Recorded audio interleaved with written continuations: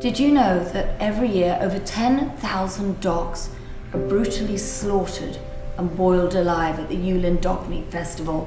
This barbaric, heinous festival is held every year in China.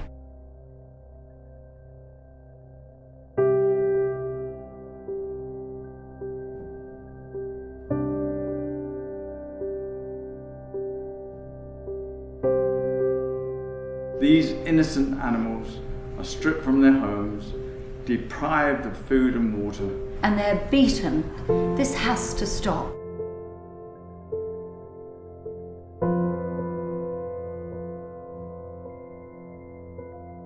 I can't think of a world without dogs, and I can't think of a world where people eat dogs for pleasure, not out of necessity, out of pleasure.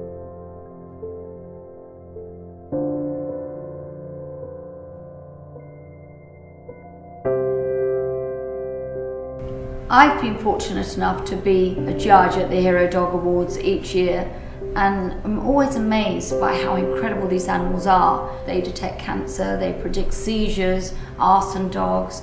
They're the conduit between people suffering from post-traumatic stress syndrome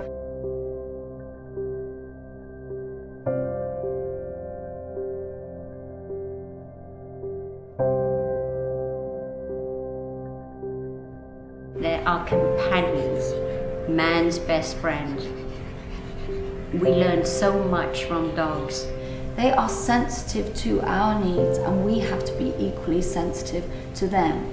It's going to take thousands, millions of us all to stand up and say we're against it. It's ridiculous. There's plenty of food available in the world. There's no reason to take a little guy like this, torture him, put him on a platter and eat him. It just doesn't make sense. We can just raise awareness enough to stop the Yulin, the most notorious of the dog festivals, then we might be able to have a chance of stopping the other ones.